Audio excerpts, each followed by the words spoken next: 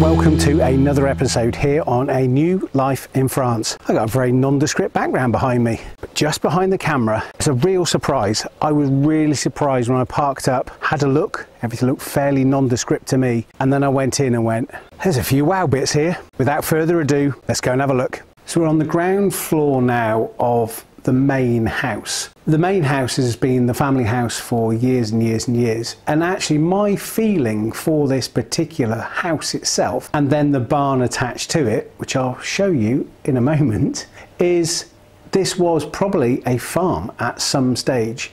Just looking at one or two of the other properties around that have probably been added on through the years. So this was the main probably farmhouse many, many years ago. And what I actually see with this particular property downstairs and upstairs, it just needs a bit of TLC and a few renovation bits. You can see where the owners have done bits as well. They've probably been focused on the project next door, which I'm going to show you. But also as well, when I look around here, there's so much opportunity. When we do these videos, these videos are about showing you properties, you can click on the link, you can go and look at the agent's photos and some of the videos. But what we like to be able to do here and what I like to be able to impart is just a little bit of my thoughts looking round.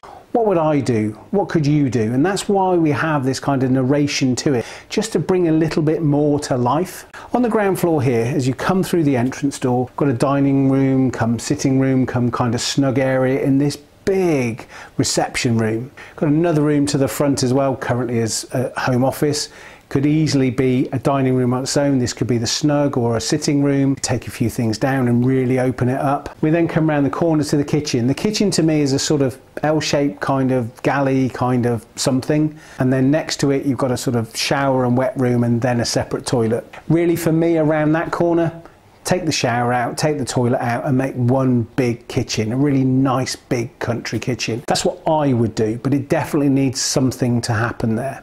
To the side of the kitchen, you've got a door that goes into the garage. The garage currently has got the boiler in it. It's also used as a pantry area, but could be returned back into a garage with access from the main road that's just going through this very small hamlet. You then go to the upstairs and you go up the stairs and we'll go up there in a moment. But for me, there's lots of bits of plasterboard stud work that has been put on for a reason, maybe not finished, bits as well. So for me, there's a lot you could just take out and it would just bring a little bit more life to it and then decorate it and bring it back to probably what it once was. And when I take you around the rest of the properties here on this complex, you will see that the owners really have spent their time on the other two properties. Let's go upstairs. If you are a regular viewer with some of the bigger houses we do, I tend to end up on the landing and give you a little description of what's going on up here from the landing. It's a little bit of a labyrinth up here, so you'll have to bear with me. There is a room just behind the camera as we're, as we're here. Smallish room, probably can't call it a bedroom, and I don't think the agents call it a bedroom, but for me, it could be. But equally, it could also be a really nice home office there. Views looking out, nice, lovely, compact. Then got two further bedrooms next to each other here, sort of two biggish bedrooms, no facilities to them, but just two biggish bedrooms. Big windows looking out, really nice rooms, again a lick of paint, really bring them back up. Just over my shoulder is a door. Now, sort of landing here and the balustrade and the corridor, it all sort of narrows. Go through to there, there is another bedroom. Nice big bedroom actually, it's probably the biggest out of all of them. So on this floor at the moment, we've got three bedrooms and another room. Again, through that door, there is another door. And that door goes into a void, which is pretty much not, it's not the attic because we're not in the attic, but it's a big void that goes the whole length of the house here. They've started to do the insulation. They've started to put the hangers in place as well. That could easily be turned into more rooms. the moment it is just used for storage, but it could be there for that. So as you can see when you're looking all the way down that, that's a big space to be able to use. Again for me, when I look over and I keep talking about this door there and that bit of wall there, that can come out. That's just stud walling. That can come out. That will actually make the landing bigger, make everything bigger. So there's lots of things you do. Yes, you're going to have to spend some money. Yes, you're going to have to do it. But this has the potential to be a beautiful, beautiful house. When I take you to the other two properties, as I keep saying, you'll see where the money has been spent and where the owners have been really concentrating their efforts. But here also has the potential. So remember today I'm showing you a complex, three properties with some land. Here inside what I'm going to call the annex, but it's not an annex, it's its own building. You call it a bungalow, a pavilion, whatever you wanted to call it.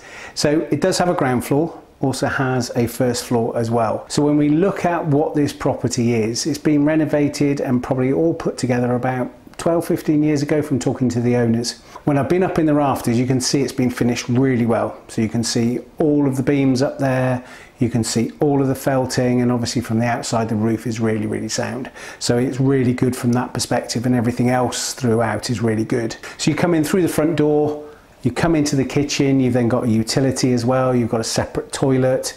So you're into the kitchen diner and then you come into the sitting room. Really nice and compact and light and airy. You've got French windows going out onto the garden. And then we make our way up to the first floor. On the first floor, there is a bedroom at the top currently, um, used for grandchildren, I believe, coming to visit. There are also two more, I'm going to say rooms, they're not, they're two more spaces. Now for me, you could turn those spaces, potentially you could put a bathroom upstairs and you could put a second bedroom up there as well. There's a lot you could do up there and it's all ready to go from that perspective. When we come back downstairs, there's just one more little twist and this currently is used as a relative's residence. And on this ground floor, what we also have is we also have another bedroom. So just as you come in off the door, there's off that front door there, you just take a little door and you come into another bedroom here on the ground floor. And it also has a shower with a bathroom as well. That's also worth noting because it is on the ground floor. So you can see how this particular property has been used. Now you could use it in any way that you wanted, but this is the second property of this complex of three. Inside here, I'm really struggling to find the words. It is an old barn, but to say that just, I don't know, it just isn't right. And even when you come off the road to this complex, because it's not just this one building I'm in, it's still fairly nondescript. And again, that's not belittling it, it's just fairly nondescript. And you just come in to the courtyard and you see this building. It is an old barn, but you would have no idea it was apart from the archway, which is where the original doors would have been. Every single bit of stonework here has been repointed, inside, outside. The floor has been meticulously finished.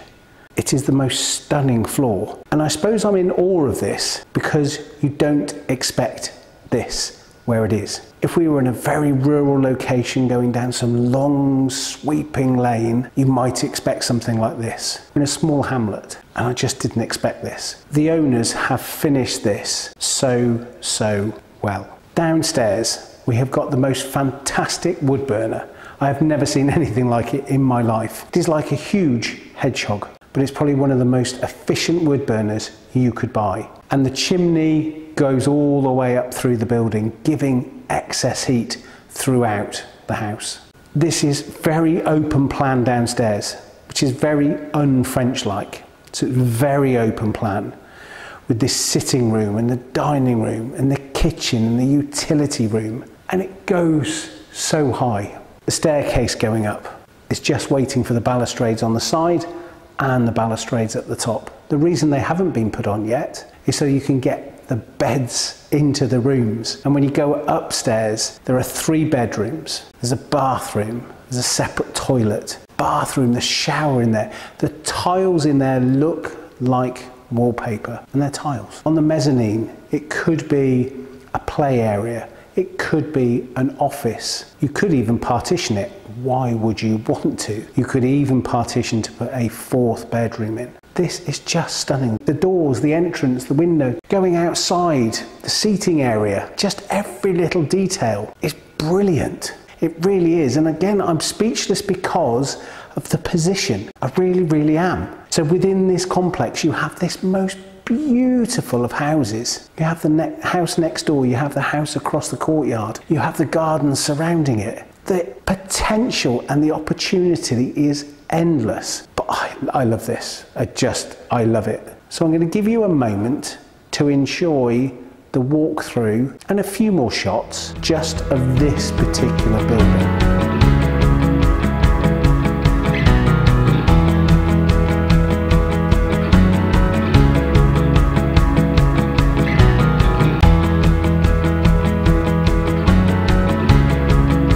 I really hope you enjoyed today's episode. I just couldn't resist but actually finish the film back in this lovely building. So let's just recap on what we have seen today. We're buying a complex. Sounds rather grand, but we're actually buying three houses. So we've got the main house, which is an older house and does need work to it. We've then got this beautiful barn conversion. We've also then got what I call the annex, but it's another building as well. So when we look at all of those together, what do we have? So the main house, we've got bedrooms, we've got so much scope to make it just a beautiful home again. In this barn, with the open plan, the wood burners, the outside space, upstairs with a mezzanine and bedrooms and just every detail done with the final house, the annex or the bungalow or the pavilion, whatever we want to call it.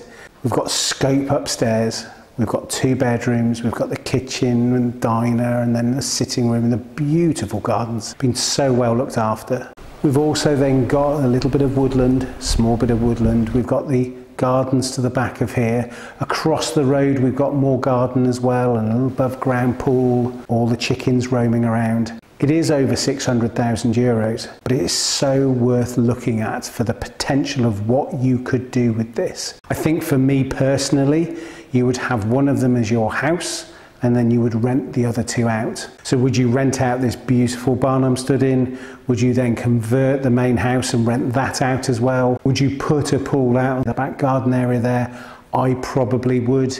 Would you potentially live in the main house or the annex? Would you do a few more things? There's even that small little building out there. Could you do something with that? So I think there's a lot you could do. So for me, a great property. Come and look at the property, get in touch with the agent. It's a real surprise. And I think you might have sensed that when I did the opening of this particular episode.